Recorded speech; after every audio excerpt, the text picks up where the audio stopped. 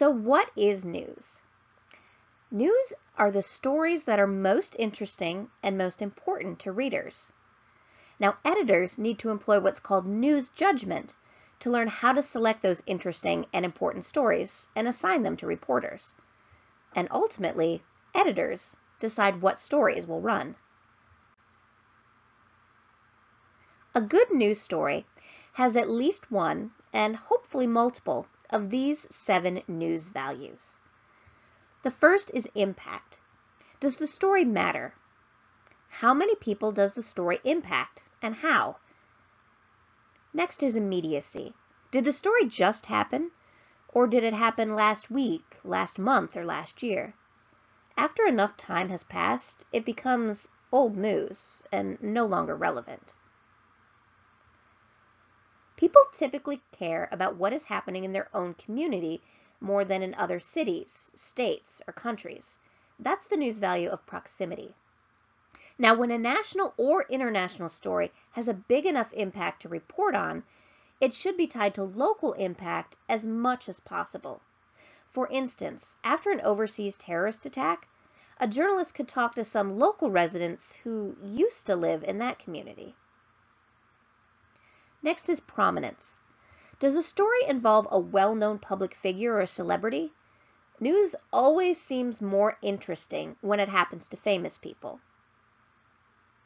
Next is novelty. Is the story about something new, odd, or surprising? New York Sun editor Charles Dana was quoted as saying, When a dog bites a man, that's not news. But when a man bites a dog, that is news. There's actually even a card game called Man Bites Dog, in which players have to use their cards to come up with the most outrageous headlines. Next is conflict. Is the story about a power struggle, a political battle, sports rivalry?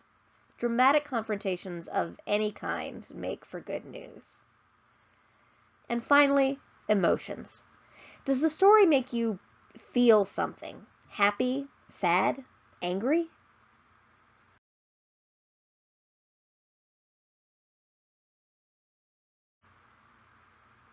News is the stories that are most interesting and important to readers. Therefore, who your readers are reflects what your news will look like. Take a look at these nine potential stories for a Metro Daily newspaper, with more details about each one found on page 34 of your textbook. Now imagine you are the editor of the Durham Herald Sun. What's news? Storm warnings and flu shots. That can have a large impact and immediacy. The same with tuition hike. County fair. Immediacy and novelty. People love pictures of kids and animals, especially of the two together.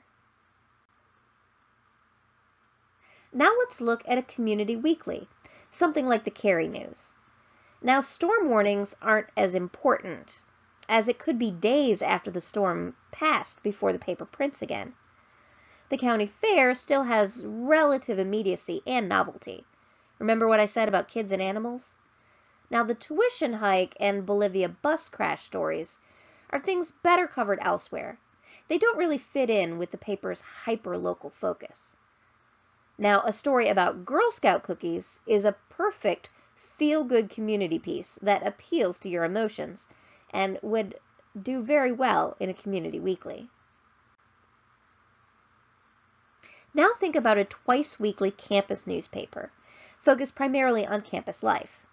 A tuition hike? Page one. That impact is major for every reader. The lottery winner is a graduate student who won $50,000 in the state lotto. Now that's a great story for the campus paper. Jay Z's gender confirmation surgery? No one's going to touch an unsubstantiated rumor. Ultimately, what you will run in your newspaper depends on who your readers are and what they want.